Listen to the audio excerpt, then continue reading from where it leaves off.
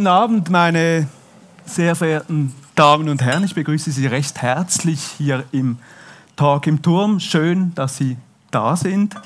Der Titel der heutigen Ausgabe lautet Gesund sterben, was uns die Medizin der Zukunft bringt. In den Labors der Universität Zürich wird heute an der Medizin von morgen, an der Medizin der Zukunft geforscht. Doch was bedeutet das? Was bedeutet dieser medizinische Fortschritt für uns? Was dürfen wir von der Medizin morgen erwarten? Und mit welchen Risiken müssen wir allenfalls rechnen? Solche und andere Fragen möchten wir in der nächsten Stunde mit zwei Wissenschaftlern diskutieren, die sich selbst an dieser Suche nach innovativen, neuen Therapien, äh, besonders für die Krebsbekämpfung, beteiligen. Zum einen möchte ich begrüßen Beatrice Beck-Schimmer. Sie ist äh, Professorin für Anästhesiologie an der Universität Zürich, arbeitet unter anderem auch am Zentrum für integrative Humanphysiologie. Ihr äh, Forschungsgebiet ist die Nanomedizin. Was es mit dieser Nanomedizin auf sich hat, wird sie uns in der nächsten Stunde unter anderem erklären. Zum anderen begrüße ich Herrn Moch. Holger Moch ist Professor für Pathologie an der Universität Zürich und Direktor des Instituts für klinische Pathologie am Universitätsspital Zürich. Holger Moch beschäftigt sich mit der Frage, wie aufgrund einer detaillierten und auf, höchst, auf modernster Technologie basierender Genanalyse Krebs gezielter behandelt werden kann. Die Diskussion wird von meinem Kollegen Thomas Gull und von mir moderiert. Roger Nickel ist mein Name. Wir sind die beiden Redaktoren des Magazins der Universität Zürich.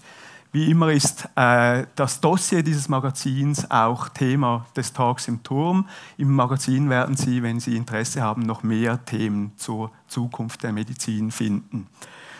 Wir werden jetzt in die Diskussion steigen, die eben etwa eine Stunde dauern wird. Nachher haben Sie die Gelegenheit, die Fragen, die sich während des Gesprächs Ihnen gestellt haben, den unseren Gästen zu stellen. Frau Beck-Schimmer, Sie arbeiten mit magnetischen Nanopartikeln, forschen mit magnetischen Nanopartikeln. Was dürfen wir denn von Ihrer Forschung erwarten? Also wir haben vor allem zwei Schwerpunkte in Bezug äh, auf diese Nanopartikel. Das eine ist die Blutreinigung, das möchte ich jetzt hier gar nicht äh, groß äh, erläutern. Also alle möglichen Substanzen aus dem Blut mittels dieser magnetischen Nanopartikel entfernen zu können. Und das andere, und ich glaube, das passt dann sehr gut hier äh, zu diesem Thema, ist eben gezielt, indem man über einen Magneten diese Nanopartikel zu einem Tumor zu dirigieren. Die Nanopartikel, die dann je nachdem eben zum Beispiel mit Chemotherapeutika versehen sind, sodass man ähm, ganz lokal über den Magneten diese Partikel mit den Chemotherapeutika zum Tumor dirigieren kann. Oder andersrum gesagt, eben, man versucht möglichst Nebenwirkungen zu vermeiden. Genau, was, was bringt uns das als Patient, als Patientin? Wenn Sie diese, Nano, wenn Sie diese, diese Medikamente gezielt äh, an diesen Ort bringen können? Was haben wir dafür für einen Vorteil daraus? Eben, man kann erwarten, wenn das Chemotherapeutika sind, dass der Patient natürlich oder die Patientin viel weniger Nebenwirkungen hat. Was das heute der Fall ist. Ja. Genau. Und äh, was treibt Sie an in Ihrer Forschung? Was motiviert Sie? Äh, die Neugier die Neugier der Biologie ein bisschen mehr auf die Spur zu kommen. Und ich habe immer so das Gefühl, ich bin in einem See oder einem Meer und dann tauche ich ein bisschen unter und noch ein bisschen mehr und ich denke, oh, jetzt bin ich aber schon ganz tief. Und dann komme ich wieder an eine Stelle, da sehe ich keinen Grund mehr. Und das motiviert mich noch mehr, da in die Tiefe zu tauchen. Gut, und wir werden Sie heute ja bei diesem Tauchen auch noch ein bisschen begleiten. Sie werden uns noch ein gut, bisschen ja. besser erzählen, was Sie genau machen. Haben Sie eine tauchen. Ausrüstung dabei? Nein, ich, ich, ich, folge Ihnen einfach und vertraue Ihnen, dass Sie wissen, wo es lang geht. Obwohl Sie das ja offenbar auch nicht immer genau, ganz genau wissen. Herr Moch, Sie analysieren Gewebeproben von Tumoren. Äh, was können wir von Ihrer Forschung erwarten für unsere Gesundheit? Also unser Ziel ist in der Forschung, Tumoren immer genauer zu diagnostizieren und immer mehr Informationen liefern zu können, dass wir sie in Zukunft viel genauer und besser behandeln können und möglichst nebenwirkungsfreier. Und was fasziniert Sie persönlich an Ihrer Forschung? Was ist Ihre Motivation? Na, zumindest ist es äh, sicherlich ähnlich, wie du es gesagt hast, dass man versucht, an Grenzen zu kommen. Äh, und äh, bei Tumorforschung ist es immer das Ziel, ähm, die Patienten zu heilen, ihnen etwas ähm, zu ermöglichen, was früher nicht ermöglicht ist. Denn das bringt die Medizin voran, dass wir dort Einzelschicksale verändern können. Es ist das Heilen, das heißt konkret, jetzt eben das Ziel ist eben gezielter auf Krebsgeschwüre, auf Tumoren eingehen zu können, diese gezielter zu behandeln. Das ist ein Ziel, das Sie beide haben, das Sie auch beide antreibt in der Forschung, ähm, Mittel zu finden, wie das möglich ist. Wir haben es jetzt schon gehört, Frau Beck-Schimmer, Sie arbeiten an einer Technologie, die es eben ermöglichen soll, Tumoren mit Nanopartikeln direkt, direkter anzugreifen. Sie haben uns jetzt solche Partikel mitgebracht.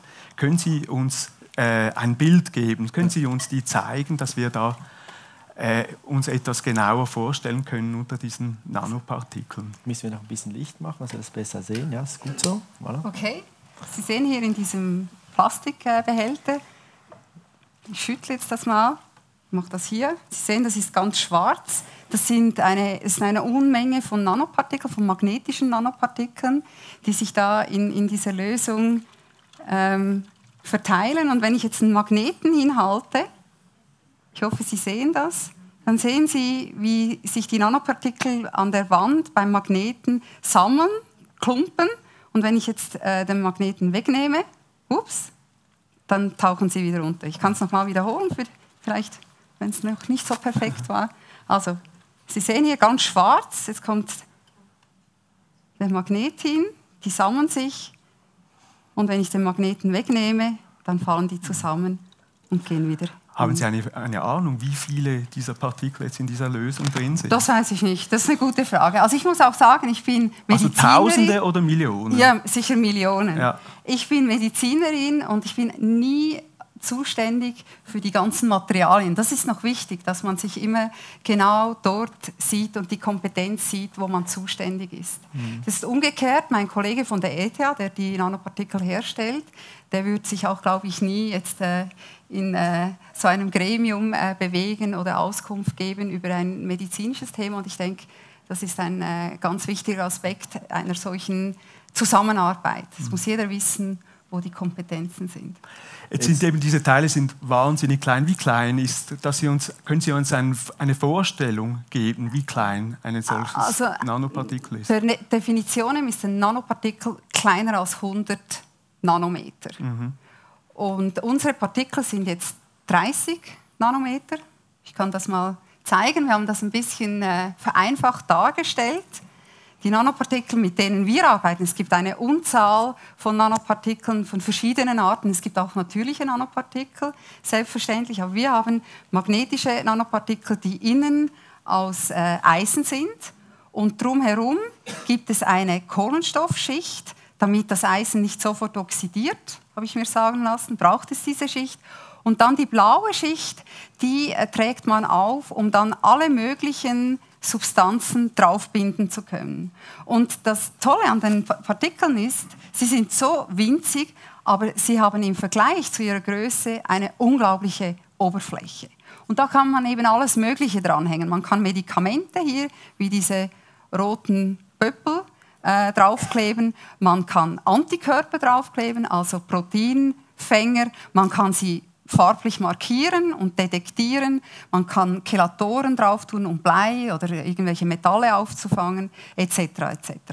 Und die Idee ist jetzt eben die, dass man jetzt zum Beispiel ein Medikament, ein Krebsmedikament zum Beispiel auf diesen Nanopartikel äh, setzt und dann, weil er magnetisch ist, an den richtigen Ort bringen genau. kann. Können Sie das uns ein wenig genauer erklären, wie, das, wie, man, wie man sich das vorstellen muss? Wir haben das vor allem äh, in Zusammenarbeit mit unseren Kollegen der Visceral, der äh, Bauchchirurgie diskutiert. Es gibt in der Tat zum Beispiel Lebertumoren, die sind so groß oder liegen so ungünstig in Gefäßnähe, sodass man nicht primär operieren kann. Das heißt, man muss den Tumor von der Größe her reduzieren. Das kann man eben äh, über eine Chemotherapie machen, die aber sehr belastend ist für den Patienten. Das sind ja auch oft mehrere Zyklen dann, ist auch nicht ganz ohne für die restliche Leber, die oft auch einen Schaden nehmen kann.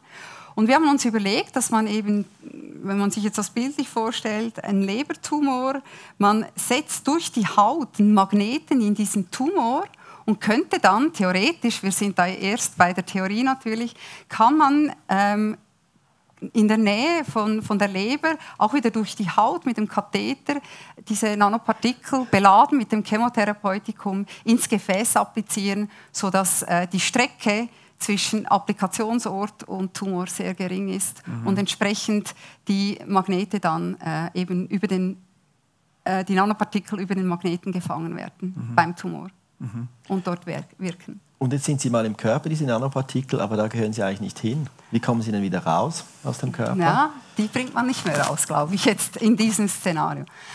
Ähm, das ist eben jetzt die Frage und ich denke, das ist ganz wichtig, äh, dass man eben nicht nur die Chancen evaluiert, sondern auch die Risiken. Und ich stehe dazu, wir haben auch schon darüber diskutiert, wir sind natürlich immer äh, total fasziniert von den Möglichkeiten, die wir haben. Es gibt auch diesen Nano-Hype, aber ähm, auch von einem Bundesprogramm unterstützt, ähm, über den Nationalfonds finanziert, gibt es dann äh, ein Programm Chancen und Risiken von Nanomaterialien. Und da sind wir eben darauf bedacht zu schauen, wo sammeln sich diese Nanopartikel an. Im Gefäß gehen sie in die Gefäßwand, evozieren sie eine Entzündung oder gar gehen die Gefäßzellen kaputt etc. Das werden Sie noch erforschen. Darüber, wir sprechen auch darüber später noch mhm. in diesem äh, Gespräch, also über die Chancen und die Risiken, die damit verbunden sind. Also wichtig ist aber mal, man kann das gezielt einsetzen, man kann die da hinbringen, man bringt sie aber nicht mehr raus. Die Frage ist dann, ob das irgendwie schlecht ist für unsere Gesundheit oder nicht. Darüber sprechen wir nachher noch. Jetzt, Herrn Moch, wenn Sie das hören, Sie beschäftigen sich auch mit der Krebsbekämpfung auf, der Analyse, auf einer anderen Ebene. Was sehen Sie denn für Möglichkeiten mit diesen Nanopartikeln? Können Sie sich vorstellen, dass das, ähm, dass das was bringt? Also spannend ist zumindest der neue Ansatz, äh, ein Medikament in den Körper zu bringen. Also dass man gezielt den Tumor bekämpfen kann. Die herkömmlichen Therapien richten sich ja irgendwie gegen alle Zellen im Körper und im Organismus und haben damit Nebenwirkungen. Ich glaube, das ist ein Ansatz, um weniger Nebenwirkungen zu produzieren. Und das wäre ja auf jeden Fall auch das ist das Ziel jeder Behandlung. Ja. Möglichst gezielt und möglichst mit wenig Nebenwirkungen an den Tumor heranzukommen. Jetzt Sie selber analysieren ja mit modernster Technologie die Gene von krankem Gewebe. Also Sie bekommen krankes Gewebe ja. angeliefert im Labor, Sie analysieren das. Was kann man denn in, so, in den Genen lesen, wenn man so krankes Gewebe bekommt?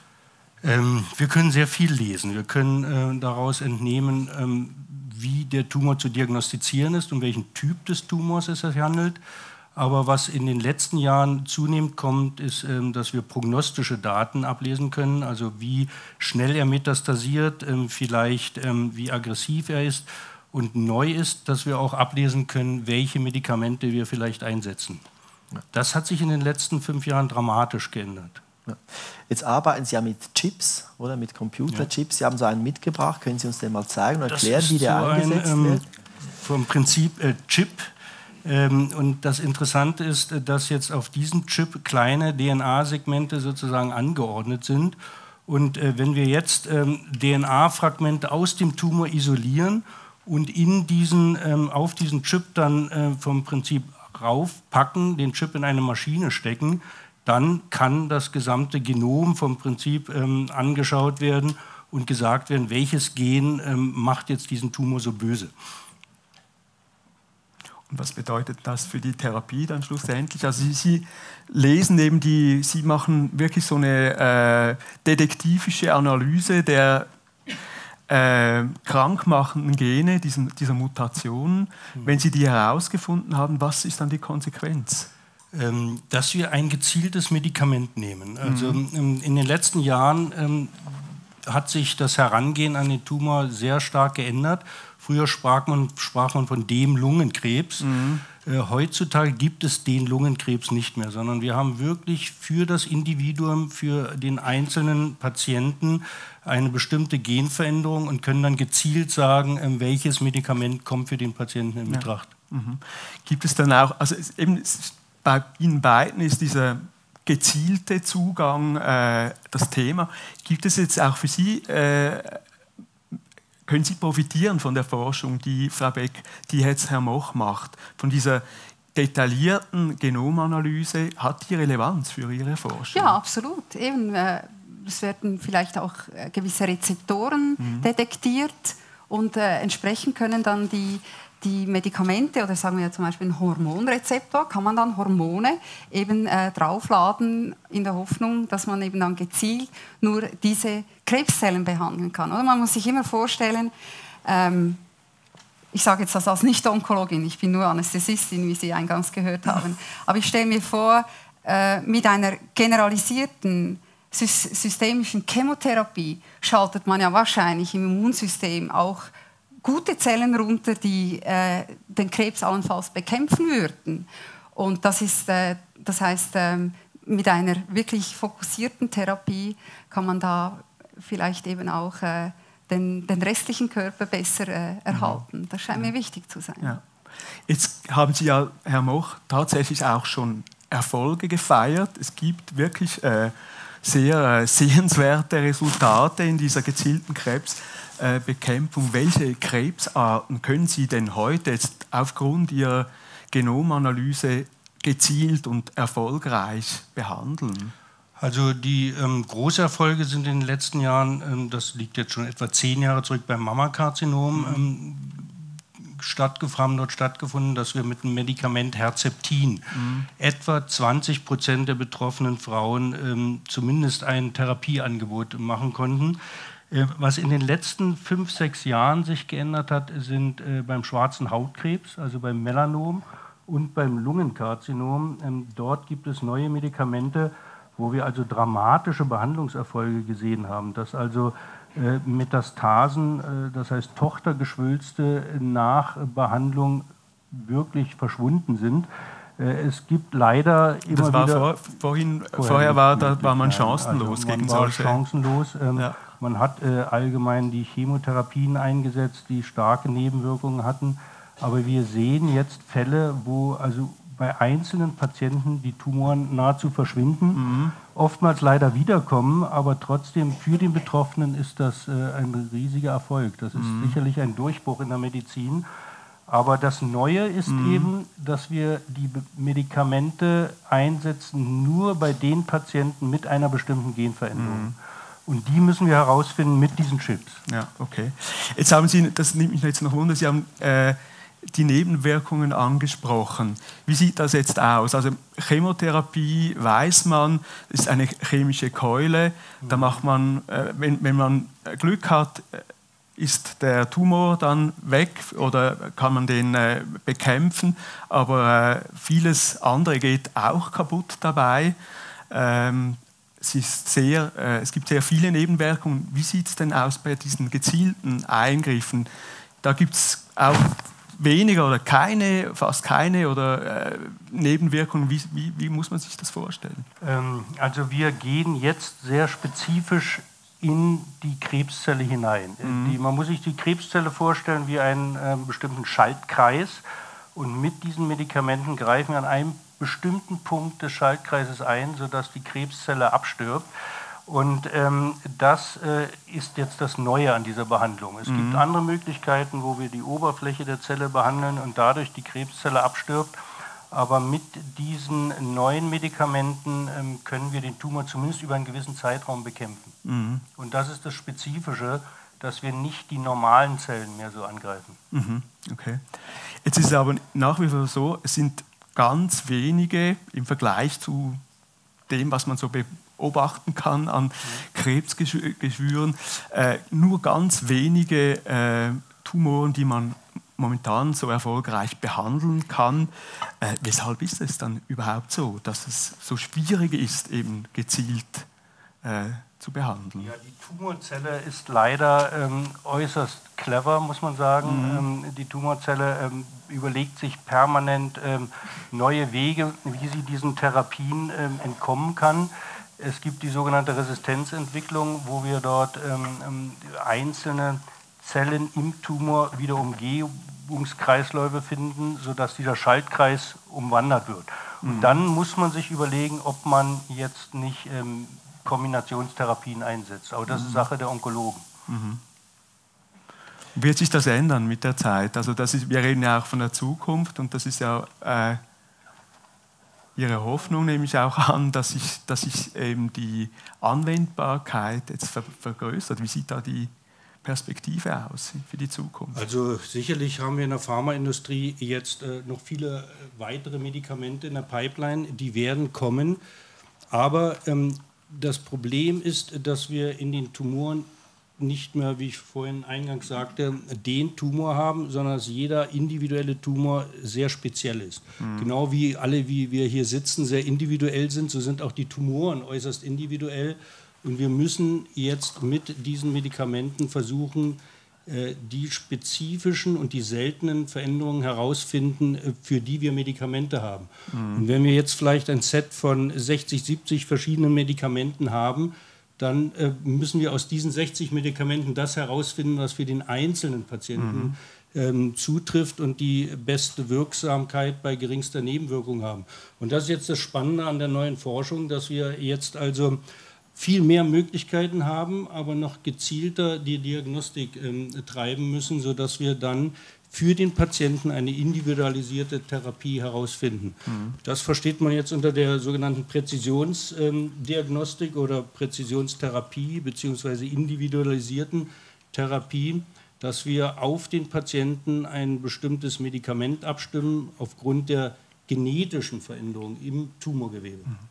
Okay. Und ich glaube, was auch noch wichtig ist, man ist ja heutzutage auch viel zum Glück aggressiver. Also früher hat man vielleicht Patienten mit bereits äh, Ablegen, mit Metastasen, hat man gar nicht mehr behandelt oder palliativ behandelt.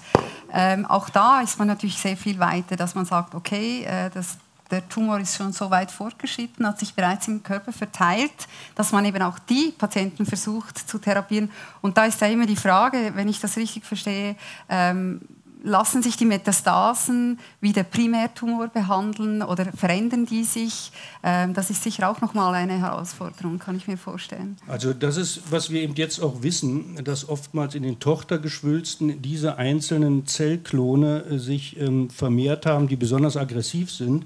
Und wir jetzt die genetischen Untersuchungen und Testungen auch in dem Metastasengewebe durchführen müssen, um dann zu sehen, was macht äh, diesen Tumor so aggressiv denn der Tumor ist eine sehr bunte Durchmischung von Zellen. Das ist eine Vielzahl verschiedener Zellen mhm. mit unterschiedlichen genetischen Veränderungen. Und es ist alles viel heterogener, wie man das äh, sich mhm. vorstellt. Ja. Es ist ja. extrem heterogen und in den Primärtumoren sind die Zellen vielleicht in der Minderheit, die mhm. letztendlich dann in der Tochtergeschwulst vorhanden sind sodass wir jetzt also auch die Tochtergeschwülste untersuchen müssen, um sie dann besser zu behandeln, vielleicht dann auch mit äh, deinen Methoden. Das, offenbar ist es also so, man weiß immer mehr, stellt aber dann immer fest, dass man immer weniger weiß, weil es eben immer differenzierter wird eigentlich. Und das andere, was Sie auch äh, gesagt haben, ist ja, es gibt ja sehr erfolgreiche Therapien, dann, aber das, ist, das sind ganz wenige Prozent der Patienten, die an einem bestimmten Krebs erkrankt sind. Das heißt also, wenn ich Glück habe, gehöre ich zu den 8 Prozent äh, mit diesem Krebs, wo dieses Medikament äh, funktioniert und sonst bekomme ich dann trotzdem immer noch die große Keule. Ist das so? Und wie sehen da die Perspektiven aus? Also das ist vielleicht eine interessante Entwicklung, ähm, die wir jetzt auch in den letzten drei, vier Jahren sehen. Ähm, früher hatte man äh, gesagt, wir brauchen Medikamente für die häufigen Tumoren, also das Mammakarzinom, das Lungenkarzinom, das Prostatakarzinom. Inzwischen gibt es keine häufigen Tumoren mehr, sondern wir kennen 20, 30 verschiedene Formen des Lungenkarzinoms. Und das ist wirklich äh, interessant, dass wir jetzt ähm, mit unseren Genchips dort ähm, theoretisch 23.000 Gene analysieren mhm. können und dann diese Patientenmenge finden, die ein Prozent des Lungenkarzinoms ausmachen und diese dann gezielt behandeln. Also die Arzneimittelindustrien stellen Medikamente her, die vielleicht nur für 5% äh, der Patienten mit Lungenkarzinom wirken.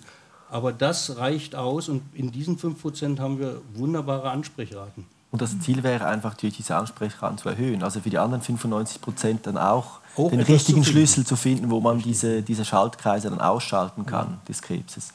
Und jetzt ist es ja so, wenn man das dann weiß, was wirkt, dann kommt man dann zu Ihnen, Frau Beckschimmer, und sagt so, jetzt nehmen wir diese Nanopartikel und jetzt bestücken wir sie mit diesem Medikament. Ist doch so. Ja, das ist, äh, das ist theoretisch so. Ich muss auch sagen, unsere, oder jetzt diese Technologie hinkt natürlich schon noch arg hinten nach. Also da sind wir natürlich noch nicht so weit, oder? Das, äh das, das wollte ich eben gerade fragen. Wo stehen Sie jetzt in der Forschung? Was, was beschäftigt Sie momentan? Also es gibt ähm, zugelassen in Amerika ähm, Nanopartikel, ein Chemotherapeutikum, das beim Mammakarzinom eingesetzt wird. Ähm, ich weiß nicht genau, wie oft, wie erfolgreich, bei uns in der Schweiz nicht. Also ich glaube, wir stehen da sehr am Anfang. Mhm. Nicht zuletzt auch, weil wir eben gar nicht wissen, und zum Teil sind Präparate mit Nanopartikeln, zum Beispiel Kontrastmittel, die man eingesetzt hat, wieder vom Markt genommen worden. Ich glaube, das Problem ist, dass wir keine Resultate haben, keine Langzeitresultate, dass wir auch nicht so genau wissen, eben, was passiert mit den Partikeln, die dann nicht beim Tumor landen, mhm. sondern frei herumschwimmen etc. etc. Da sind wir ja sozusagen bei den Chancen und Risiken, von denen wir vorher schon gesprochen haben. Wir haben ja auch darüber gesprochen, dass wir eben diese Nanopartikel im Körper haben und der Krebs ist dann weg. Idealerweise, weil wir genau wissen, wohin wir zielen müssen, aber die Nanopartikel sind noch da. Und was können denn die im Körper anrichten bei uns? ich habe das vorhin schon kurz erwähnt, es kann, eine, es kann gar nichts passieren. Das wäre natürlich toll. Sie sind einfach da, man sieht sie, aber sie machen nichts. Sie können eine Entzündung evozieren. Es kann Tumoren geben.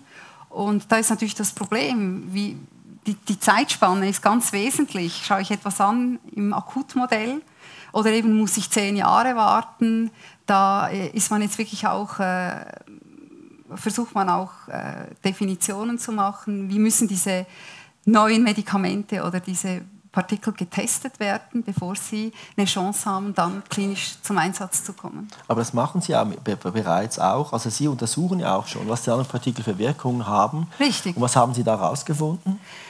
Also wir haben natürlich ganz äh, banal angefangen im Zellmodell über äh, das Tiermodell und wir haben da sehr vielversprechende Daten, in dem mit dieser Art von Partikeln eigentlich nicht viel passiert. Wir haben auch in einem Tiermodell geschaut, über ein Jahr, wenn wir wirklich eine Unmenge von Partikeln applizieren, äh, wo findet man die Partikel? Gibt es noch Partikel? Gibt es da eben Entzündungen, Tumoren?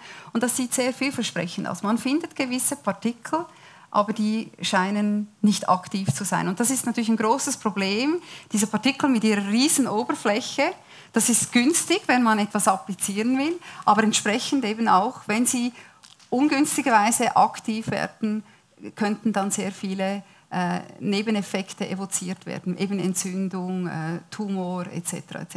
Aber zurzeit sieht das gut aus. Ich muss auch sagen, das ist auch toll in dieser Zusammenarbeit. Wir können natürlich unsere Versuche, die wir machen an der Zelle oder im Gewebe, die Beobachtungen, die wir machen, können wir natürlich nachher wieder ins Labor transferieren zu unseren Kollegen, die diese Partikel herstellen und denen sagen, das ist ungünstig, die Art von Oberfläche. Man muss, ich sage jetzt einfach etwas, zum Beispiel eine negative, eine positive Oberfläche gestalten, sodass diese Zellen aufgenommen, nicht aufgenommen werden, etc. Und das ist das Faszinierende. Man kann da ähm, sehr erfinderisch sein. Und, und ich glaube, man, man kann auch gezielt, wenn man äh, eine ungünstige Reaktion beobachtet, dann dies angehen.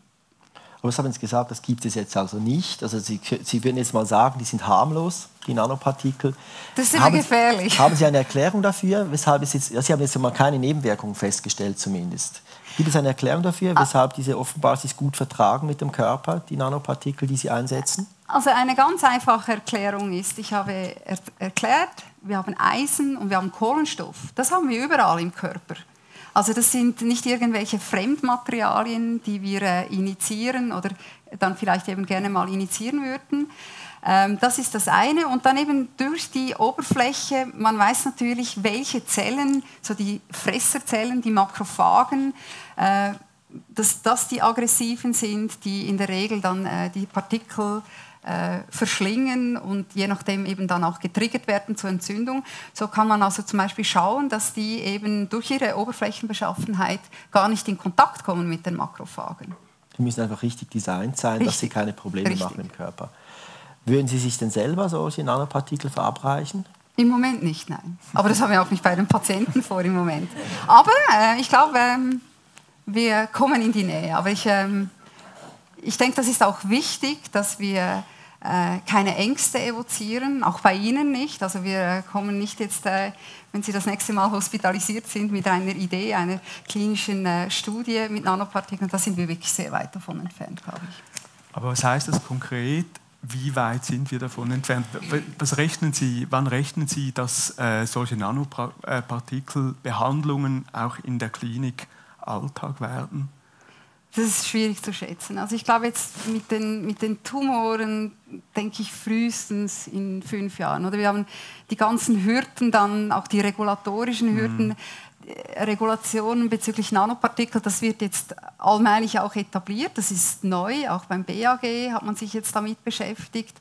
Ähm, Wenn es dann in Richtung klinische Studien geht, was was für Probanden, was für Patienten soll man da einsetzen. Das sind ganz heikle Themen und ich denke, es ist ganz, ganz wichtig, dass wir eine Unmenge von Vordaten mhm. haben. Aber ist es dann auch vorstellbar, dass es eine Sackgasse ist? Dass man zum Schluss kommt, das ist, war zwar irgendwann mal eine sehr verheißungsvolle äh, Strategie und man hat jetzt aber gesehen, eigentlich ist es zu gefährlich. Äh, könnte das auch sein?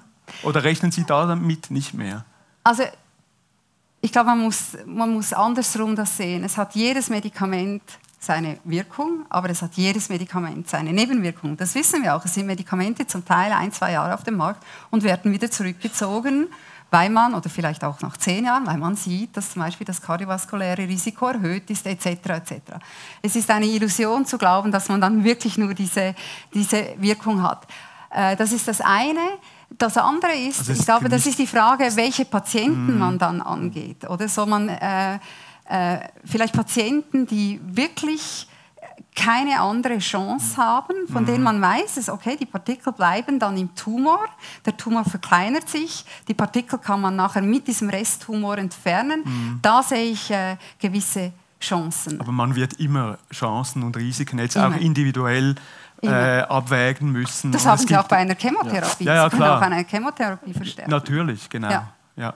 Aber, Aber, da geht es, glaube ich, darum, das ganz detailliert und sorgfältig äh, ja. zu evaluieren. Und eben da, da, kommen dann natürlich wichtigere Leute dazu, wie, wie, wie die Onkologen. Mhm. Ähm, die, Test, die Testfrage bei Ihnen ist immer, würden Sie es selber nehmen? Und wenn Sie dann mal sagen, jawohl, das mache ich, dann können wir da also auch mitmachen. die Blutreinigung, da stehen wir kurz davor. Da glaube genau. ich, das würde ich Das ist eine andere machen, Anwendung, ja. wie wir heute Abend nicht sprechen, aber ja. da könnte man es ja. machen. Gut. Ja, jetzt haben wir auch über die Vorteile eben dieser diagnostischen Genomanalyse gesprochen vorher. Die haben Sie uns auch gezeigt, was da die Vorteile dieser Analyse sein äh, können. Diese Genomanalyse hat Schlagzeilen gemacht in einem etwas anderen Zusammenhang. Sie äh, verwenden sie ja diagnostisch. Äh, es gibt aber einen Trend dazu, eben auch Präven Prävention zu betreiben. Und äh, in diesem Zusammenhang haben, hat die Genomanalyse eben tatsächlich auch Schlagzeilen gemacht, nämlich insofern, dass sich die Schauspielerin, die Hollywood-Schauspielerin Angelina Jolie, die hatte, äh, die wusste das, es gibt in ihrer Familie ein gehäuftes Brustkrebsrisiko.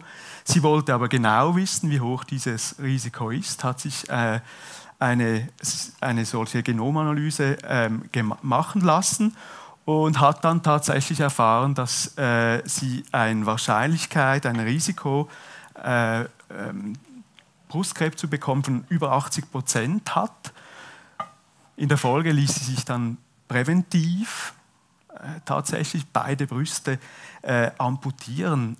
War dieser Entscheid sinnvoll, Herr Moch? Ja, das ist die, Fra oh, das ist die Frage, ähm, die jeder Patient für sich oder jeder Betroffene für sich anders beantworten wird. Mhm. Denn ähm, wir wissen bei Angelina Jolie, und da müssen wir Respekt haben, dass sie ihre Entscheidung auch an die Öffentlichkeit gebracht hat, dass sie das äh, den Medien kommuniziert hat, äh, weil damit dieses ganze Thema auch der Gendiagnostik einen ganz anderen Stellenwert erhalten hat. Und ähm, dort hat sie sich jetzt zu diesem radikalen Eingriff entschieden. Äh, manche würden sagen, bei 60 Prozent Risiko mache ich das nicht. Jeder Patient hat ein anderes Sicherheitsbedürfnis, aber das zeigt auch die ganze Problematik unserer Genanalysen. Ähm, wir haben das Recht auf Wissen, aber wir haben auch das Recht auf Nichtwissen. Will jeder äh, sein Risiko kennen? Mhm. Jeder würde anders entscheiden in so einer Situation. Manche haben dieses sehr hohe Risiko ähm, oder möchten das hohe Risiko nicht tragen, lassen sich dann auch noch die Eierstöcke entfernen. Andere sagen, wir machen das jetzt nicht und da muss jeder für sich selbst mhm. entscheiden. Wissen Sie denn, Herr Moch, ja. wissen Sie, äh, wie es bei Ihnen aussieht? Haben Sie selber eine äh, Genomanalyse gemacht? Also wissen Sie Ihre Disposition? Ähm, ich habe es jetzt selber noch nicht gemacht.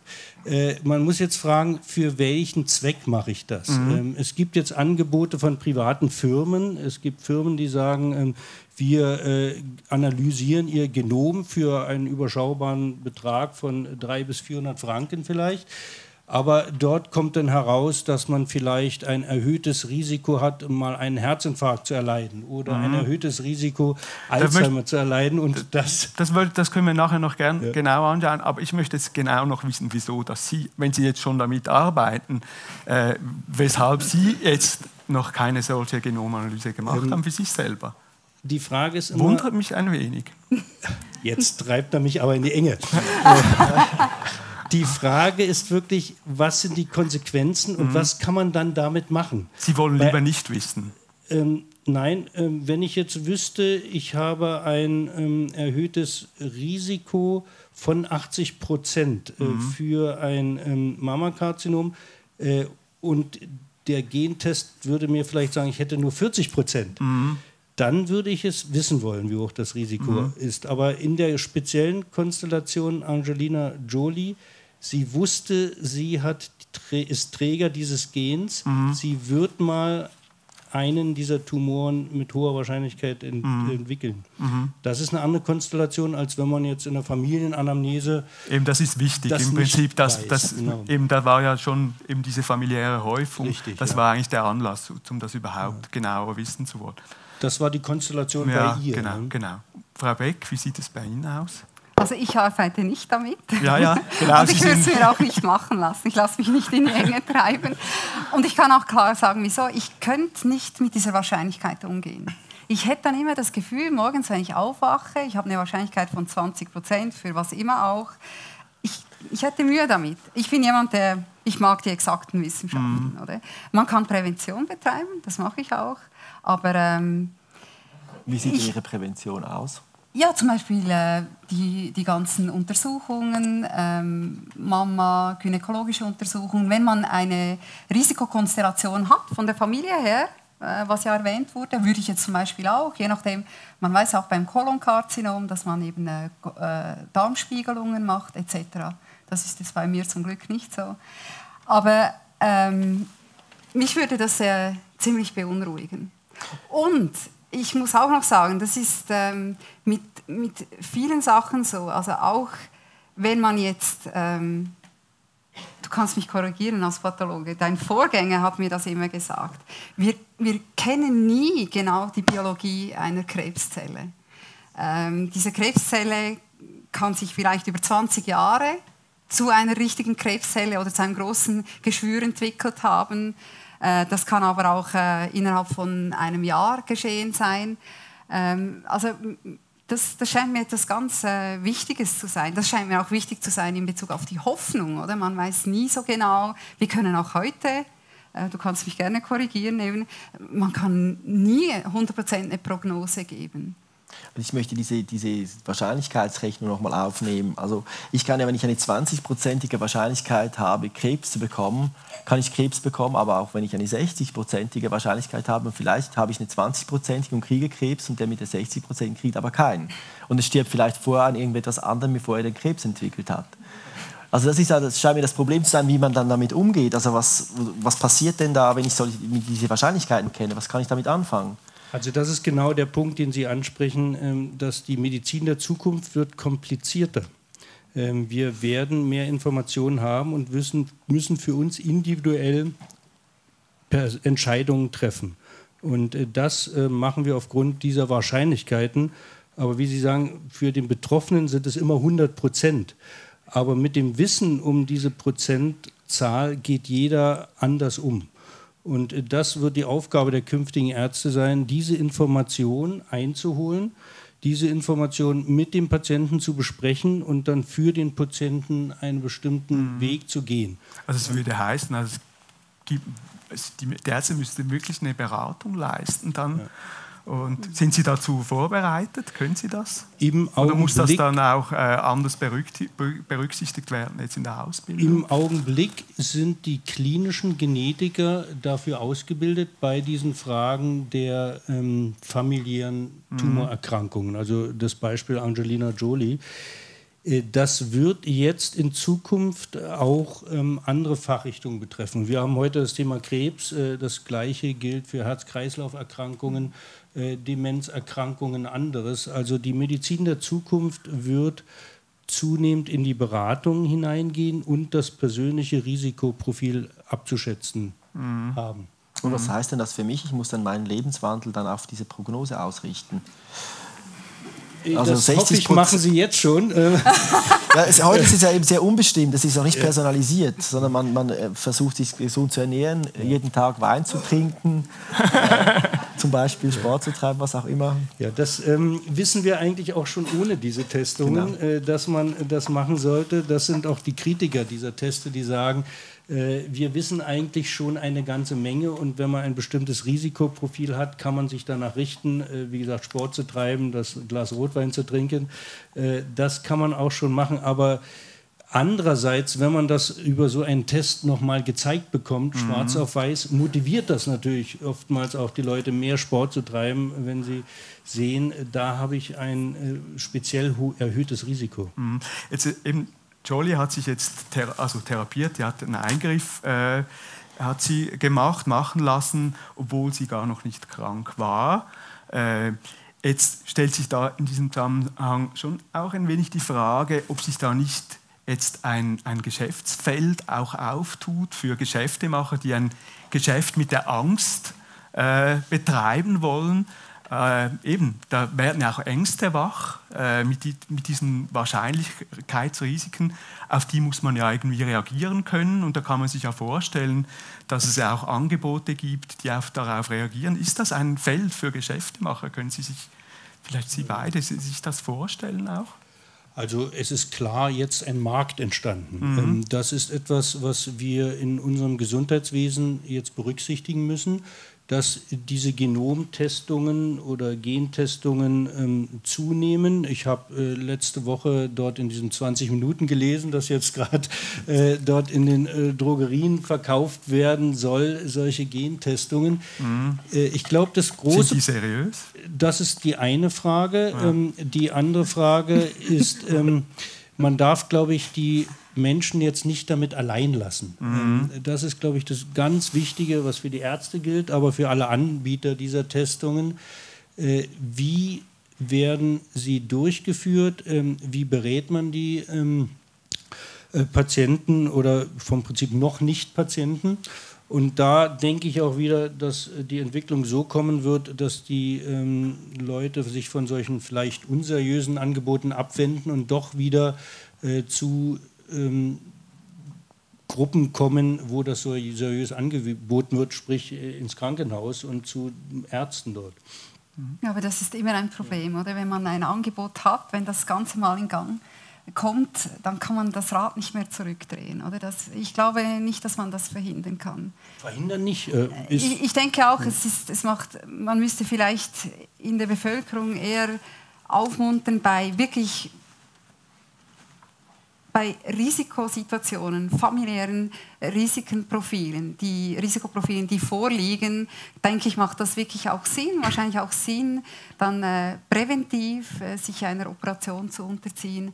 Aber einfach nur basierend auf äh, Prozentzahlen, das finde ich sehr gefährlich. Ich bin jetzt sehr ketzerisch, oder? Wer, wer sagt mir denn, dass das stimmt, das Resultat? Ja, das du als Pathologe ja. kannst ja das. Also ich glaube, wir müssen ähm, schauen, dass wir im Rahmen der Forschung uns mit diesen äh, Dingen auseinandersetzen. Aber wie du richtig sagst, die Zeit ist schon so weit fortgeschritten und die Technologie schon äh, so weit fortgeschritten, dass das Angebot da ist. Und jetzt ähm, muss man schauen, dass die Gesellschaft ähm, lernt, damit umzugehen. Das ist eine Frage, wie der Gesetzgeber damit umgeht, wie äh, die ähm, Öffentlichkeit damit umgeht. Es ist teilweise ja auch gute Sachen möglich. Es gibt also ähm, Angebote von Firmen, die solche Gentestungen anbieten ähm, die eine derartige Datenmenge schon haben, äh, weil alle Patienten, betroffenen Patientenorganisationen auffordern, dorthin zu schicken. Und äh, die kriegen in kürzester Zeit so viel Informationen zusammen, wie wir es im universitären Rahmen nie zusammenbekommen mhm. würden. Mhm. Und das ist jetzt eine positive Entwicklung, die man nutzen kann wiederum für die Wissenschaft. Ähm, diese aber Datenfülle. Diese ja. Datenfülle, aber ja. wiederum auf der einen Seite haben wir das Individuum, was für sich entscheidet, ich möchte solch mhm. einen Test machen. Auf der anderen Seite brauchen wir den Datenschutz, äh, wo man sagt, man darf ähm, nichts Unsachgemäßes mit diesen genetischen Daten machen. Also das ist die Balance, mit der wir als Gesellschaft im Augenblick umgehen müssen und was die Herausforderung sicherlich jetzt ist. Aber tut sich da nicht eben ein neues Problem aus, auf in Bezug auf diese Gesundheitsdaten, also dass die Menschen dann privaten Firmen äh, nicht nur auf dem Internet ihre Daten zur Verfügung stellen, sondern auch noch ganz persönliche Gesundheitsdaten. Ich meine, wenn man das am Spital gibt, kann man damit rechnen, dass damit seriös umgegangen wird. Dafür gibt es ja heute keine Garantie, wenn Sie einer solchen Firma diese Daten schicken. Ja, aber das ist äh, die individuelle Entscheidung des Betroffenen, der sagt, ähm, ich, ich, möchte jetzt ähm, äh, dieser Firma meine Daten geben und dafür die Information zurückerhalten und jeder Einzelne möchte gern wissen, was mit diesen Daten passiert. Und das müssen wir am Krankenhaus genauso berücksichtigen. Wie machen wir den Schutz äh, für die Daten?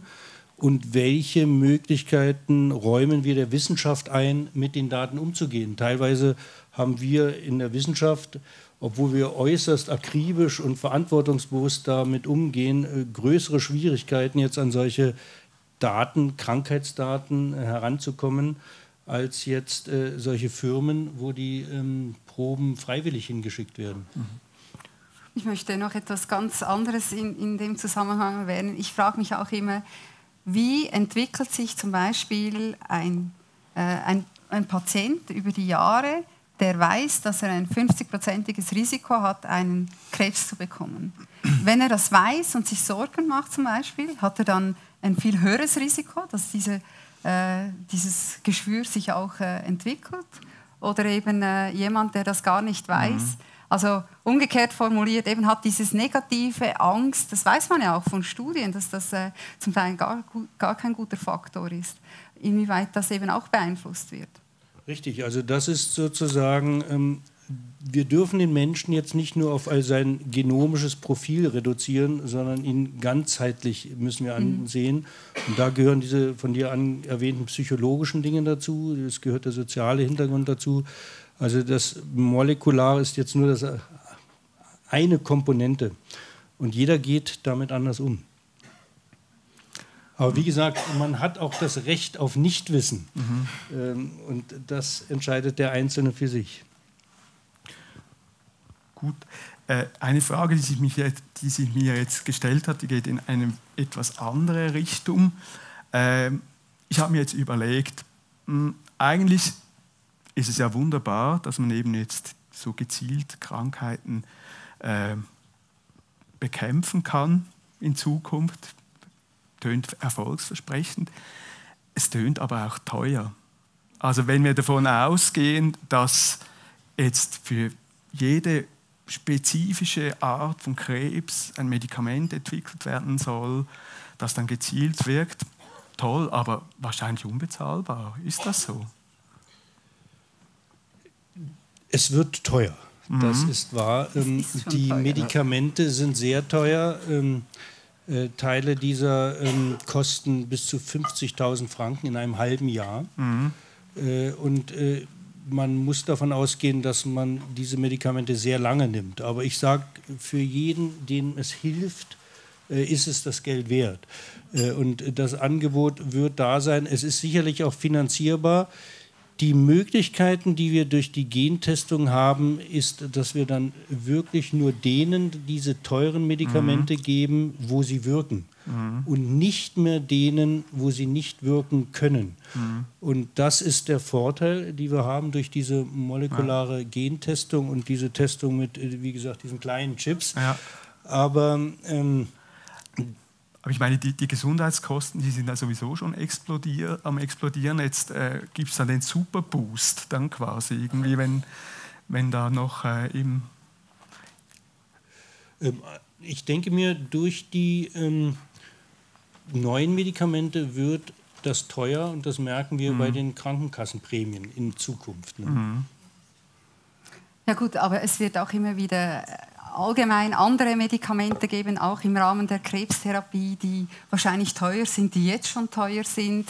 Man kann auch andersrum argumentieren, wobei das dann ein anderes Budget ist. Wenn jetzt die Patienten gezielt behandelt werden, haben sie ja wahrscheinlich auch viel ne-, weniger Nebenwirkungen, müssen mhm. weniger hospitalisiert werden. Und dort denke ich, äh, wiegt sich das vielleicht auf, obwohl das eben dann andere äh, Kosten äh, sind. Aber ich, ich bin mir nicht sicher, ob das wirklich so zu einer Explosion kommt. Ich meine, wir haben ja auch, wenn man die ganze Transplantationsmedizin sieht, mit den ganzen äh, Immunsuppressiva etc., etc., das ist äh, ja auch sehr teuer, war immer teuer, äh, teuer und ähm, ich glaube nicht, dass sich da vieles ändern wird. Das ist meine persönliche Meinung. Gut, das werden wir da sehen, dann sehen, ob wir uns das in Zukunft leisten können oder nicht. Und es wird auch interessant sein zu sehen, was das dann politisch heißt, wenn man einfach mhm. sieht, dass es die Gesellschaft nicht mehr finanzieren kann, äh, die teure Problem, Medizin. Ja. Das können wir uns ja sowieso noch in, in den westlichen Ländern leisten. Äh, in Afrika geht das ja schon heute nicht. Jetzt haben wir gehört, ähm, dass wir dank der Fortschritte in der Medizin auch schwere Krankheiten immer besser bekämpfen können, auch Krebs zum Teil sehr gezielt. Äh, das heißt, man, man wird in Zukunft auch schwere Krankheiten eher überleben. Man wird dann noch, werden eher noch, mehr von uns werden noch älter werden. Was bedeutet denn das für unser Leben? Wie verändert das auch unsere Perspektive? Was bedeutet das zum Beispiel für Sie ganz persönlich, wenn Sie denken, dass die Medizin so tolle Fortschritte gemacht haben, hat, dass Sie wahrscheinlich äh, eine wesentlich höhere Lebenserwartung haben als noch Ihre Eltern?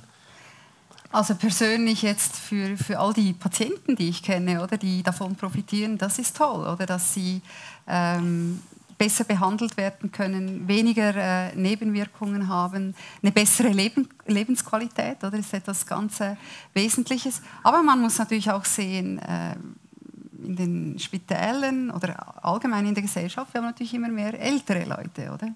Wir haben auch, äh, wenn, wenn die dann doch hospitalisiert werden, wir haben kein Platz mehr äh, in, in, in der Klinik. Die Kosten darf man da, denke ich, das äh, wirkt sich natürlich auch aus, aber äh, das können wir nicht mehr aufhalten. Das hat sich so entwickelt und ich denke, das ist auch gut so, oder? Wenn man den Einzelnen sieht, und äh, da spreche ich natürlich aus der Perspektive des Mediziners. Aber dann kann man sagen, für den Einzelnen kann das ja sehr segensreich sein, für die Gesellschaft, das haben wir auch bei den Kosten angesprochen, kann es ja zu einem Problem werden uh, in the long run, we're all dead. Also wir werden irgendein etwas werden wir sterben an irgendeiner Krankheit. Wir, wir, sterben dann vielleicht nicht mehr am ersten Herzinfarkt oder an, am ersten Krebs, aber dann vielleicht am zweiten Krebs oder am dritten Herzinfarkt. Und dazwischen äh, gibt es dann sozusagen mehr Lebenszeit für den Einzelnen, was schön ist, aber es gibt auch große, große Belastungen für die Gesellschaft. Das ist richtig. Was passiert denn hier jetzt in Zukunft, Herr Moch? Wie, wie, wie, wie gehen wir damit um?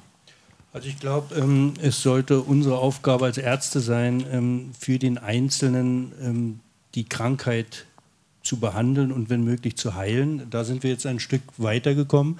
Das ist etwas, was mich immer wieder antreibt als Forscher. Solche, gerade solche Beispiele, wie wir es jetzt gesehen haben, ähm, mit dem schwarzen Hautkrebs, äh, dass dort Patienten äh, sechs, acht Monate länger leben, mag einer sagen, das ist jetzt nicht so viel. Aber für den Betroffenen, der noch seine Enkel sechs Monate länger erleben kann, ist das sehr viel Lebensqualität, Lebenszeit. Also für die Betroffenen sollten wir versuchen, das Beste zu machen und die beste Medizin anbieten, die es gibt. Und ähm, wenn man dann ähm, über die Jahre schaut, ähm, hat sich die Medizin jetzt unglaublich entwickelt. Ähm, gerade ältere Leute in der Herz, ähm, mit, dem, mit dem Herzinfarkt, ähm, die jetzt Stents haben, die dann doch noch viele Jahre länger leben können, ist das ein Erfolg und äh, daran sollten wir weiter arbeiten. Das wäre schon fast so wie ein Schlusswort gewesen. Wir sind aber nicht, nicht ganz fertig. Also eigentlich haben Sie, was Sie jetzt ja gesagt haben, ist, dass Sie ja, Sie führen eigentlich einen ewigen Kampf gegen die Biologie, wenn man so will. Und eben man kann dann eine Krankheit überwinden oder zumindest eindämmen, bei gewissen Leuten sogar heilen und da kommt einfach die nächste. Sehen Sie das auch so? Oder haben Sie das Gefühl, dass das irgendwann zu Ende sein wird? dass wir dann 120 werden zum Beispiel. Wollen Sie das wirklich? ja gut, wenn ich jetzt gesund wäre, ich weiß nicht. Gesund werde ich, glaube ich, gerne nicht 120 werden. Wenn's, vielleicht wird es mir dann irgendwann langweilig. Das könnte ja auch nicht sein, das dass man an Langeweile stirbt dann. Und ich glaube, ähm, wir kämpfen gegen Krankheiten, aber es kommen auch immer wieder neue Probleme auf. Und ähm, wir haben das auch schon bei anderer Gelegenheit diskutiert. Ich glaube, es gibt jedes biologische System, das weiß man auch, hat einen Anfang und es hat ein Ende. Und dieses Ende werden wir vielleicht zeitlich ein bisschen verschieben können, aber es wird es immer geben. Und deswegen mache ich mir keine Sorgen. Ich glaube nicht, dass wir mal äh, das Problem haben, dass alle 120 werden oder der Schnitt 120 ist.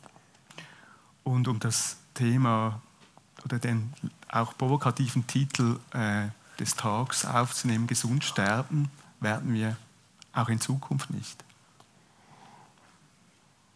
Nein, ich, es gibt, man kann das nicht pauschalisieren, es gibt gewisse Leute, die gesund oder gesünder sterben werden. Aber wenn man zum Beispiel gerade von der Schweiz nach Afrika geht, dann sieht man, das passiert dort überhaupt nicht. Also wir äh, in unserem Wohlstandsland ist das vielleicht, aber es gibt weltweit immer noch Malaria, Tuberkulose, HIV, dort äh, Säuglingssterberate, äh, die extrem hoch ist.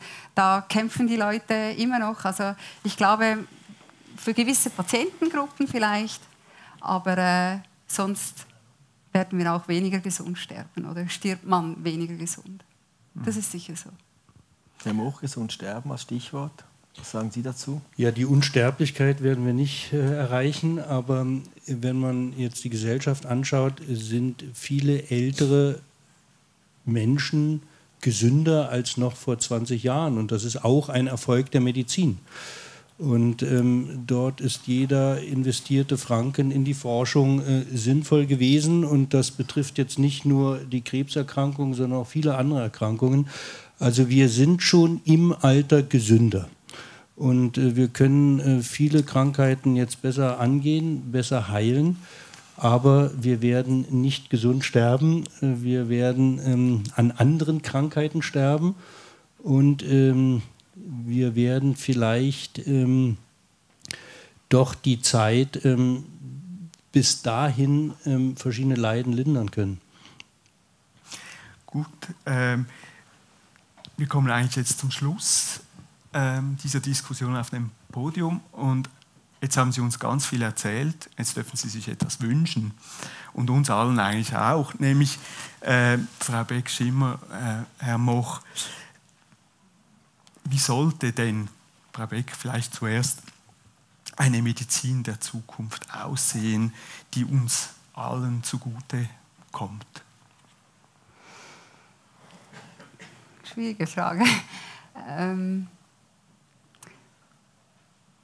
ich glaube, es ist wichtig, dass wir weiter versuchen, die Forschung voranzutreiben, dass wir wirklich, solange wir uns das leisten können, wirklich ein, ein, ein Maximum äh, erreichen. Ich denke aber auch, und das habe ich vorhin angesprochen, dass wir eben um, über unsere Grenzen rausschauen sollten und unsere Gewinne auch in andere Länder bringen sollten, wo man wirklich noch mit ganz anderen Problemen kämpft. Das wäre eigentlich so ein bisschen mein mhm. Wunsch. Dass, äh, mhm. ich, ich glaube, wir, wir leiden auf relativ hohem Niveau. Das heißt nicht eben, ich bin auch absolut begeistert von der Forschung, dass wir äh, unsere Kenntnisse versuchen zu vertiefen, neue Sachen zu finden, aber dass wir auch den Weitblick haben, dass wir das äh, auch in andere Länder bringen, die nicht diese Chancen haben. Weil die würden extrem profitieren. Mhm. Oder?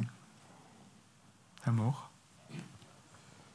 Also ich denke mir, ähm, wir werden in der Zukunft, wünsche ich mir, dass wir für jeden einzelnen betroffenen Patienten sehr individuell ein Therapiekonzept, ein Behandlungskonzept zusammenstellen können, dass wir so viel Informationen haben, dass wir da meistens richtig liegen, ähm, besser ähm, behandeln können und ähm, dass wir das, wie du sagst, jetzt nicht nur in der hochindustrialisierten Gesellschaft haben, sondern vielleicht überall. Also, jetzt wäre die Reihe an Ihnen. Wir hoffen, dass Sie doch die eine oder andere Frage haben, die Sie Ihnen gestellt hat während des Gesprächs. Wo fangen wir an? Ja, vielleicht da drüben bei Ihnen. Sie kriegen das Mikrofon. Ich habe eine Frage an Frau Bär, und zwar mit diesen Medikamenten, mit den Nanopartikeln. Weshalb werden die nicht direkt initiiert, sondern zuerst auf die Partikel und dann mit Magneten an den Ort beispielsweise eines Karzinoms gebracht und nicht direkt dort initiiert? Was verstehen Sie unter direkt? Dass man das direkt in die Vene spritzt? Nein, Beispiel, direkt, in, direkt in das Geschwür, in den Tumor direkt. Das ist äh, wahrscheinlich technisch relativ schwierig, aber das ist eine gute Frage. Aber das, dann haben Sie den Effekt, diesen unglaublichen Effekt dieser extremsten Magnetisierung nicht. Äh, nämlich den Effekt, wenn Sie das kurz vor dem Tumor ins Gefäß initiieren, dass sich dann das auch noch überall um den Tumor verteilt. Oder wenn Sie das direkt initiieren in den Tumor, wenn das ein großer Tumor ist, je nachdem, erwischen Sie vielleicht nur einen Teil des Geschwürs. Aber wie gesagt, also da ist man natürlich noch ganz am Anfang. Vielleicht wird es irgendwann mal auch eine Kombination geben. Ähm, das ist ein guter Input. Ist das gut für Sie so? Dann weitere Fragen? Meine ja, Frage geht gerade in die gleiche Richtung. Also ich bin auch fasziniert von der Forschung, von den Nanopartikeln sowieso. Aber so wie Sie das schildern, die Anwendung der Nanopartikel, ist das ja eigentlich einfach eine etwas bessere Chirurgie. Und sie, sie, sie platzieren den Magneten irgendwo hin und dort wird seziert. Sie haben ein besseres Skalpell. Und natürlich, sie machen die Chirurgen arbeitslos und ihre äh, Anästhesisten. Ja, genau. das, ist, äh, das wir haben nie mehr Arbeit. Aber, aber wir haben doch eigentlich gelernt, dass diese Tumorchirurgie in sehr vielen Tumoren eigentlich das Ziel verpasst hat, weil eben die Zellen diffus in dem ganzen Körper eben schon irgendwo vorhanden sind. Dass man also mit der Chirurgie irgendwo nicht wirklich den ganzen Tumor erwischt. Und Ihr Konzept ist wirklich ein gezieltes chirurgisches Verfahren. Äh, Sie sprechen mir irgendwie aus dem Herzen. Nur muss ich aufpassen, ich muss ja morgen dann auch am Unispital wieder mit den Kollegen Chirurgen arbeiten. Wir haben beim Nationalfonds unser Projekt, das dort äh, unterstützt wurde, das heißt Single Cell Surgery, eben mit unseren äh, Nanopartikeln. Ich, ähm, ich denke, die Tumoren sind oft so extrem komplex lokalisiert, dass auch die Technik nicht immer anwendbar sind. Und ich sehe das äh, aus meiner Perspektive, dass eben die Kombination, ich habe das eingangs erwähnt, dass man nicht resizierbare Tumoren so einfach verkleinern kann. Also Tumoren, die nicht operiert werden können, weil sie zu groß sind. Richtig. Ja. Und nachher wird der Tumor reseziert.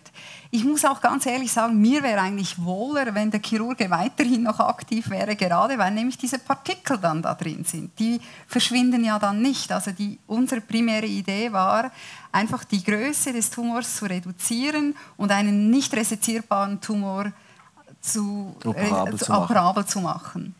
Aber ich, äh, ich weiß schon, was Sie meinen. Das ist vielleicht, ähm, das wäre jetzt fast ein bisschen vermessen zu sagen, dass das dann nochmal die weitere Zukunft ist. Ich weiß es nicht. Aber es ist, ein, ist eine sehr gute Frage. Dann gibt es noch weitere Fragen. Ja, da hinten bitte. Erste Frage, wie findet die Zusammenarbeit mit der chemischen Industrie statt? Weil es ist ein Riesenaufwand. Sie müssen ja gezielt Medikamente entwickeln. Gibt es einen Austausch oder wie funktioniert das? Es gibt sicherlich einen Informationsaustausch. Ähm, es gibt ähm, gemäß den ethischen Vorgaben auch äh, eine Zusammenarbeit, äh, dass klinische Testungen gemacht werden von den neuen Medikamenten und parallel dazu ähm, die entsprechenden genetischen Tests.